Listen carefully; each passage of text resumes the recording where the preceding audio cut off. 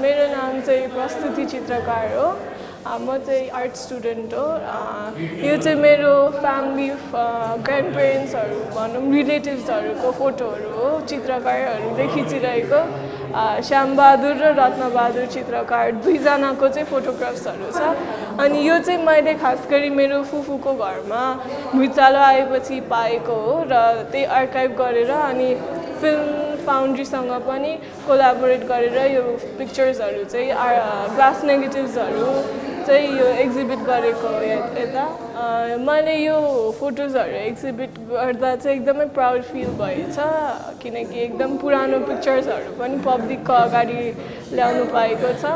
तपाईँहरू पनि आइदिनुहोस् यो फोटोजहरू हेर्नको लागि सिद्धार्थ आर्ट ग्यालेरीमा थ्याङ्क यू